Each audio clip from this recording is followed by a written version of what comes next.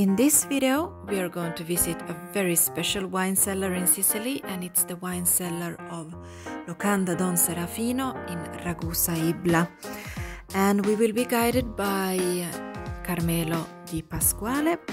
And this wine cellar has over 10,000 wine bottles of 1,600 labels, all kinds of bubbles like Krug, Moët Chandon, Salon, and a vast selection of local Sicilian wineries, traveling throughout Italy, down to South Africa, to California in the east, Germany in the north, and to the eastern countries.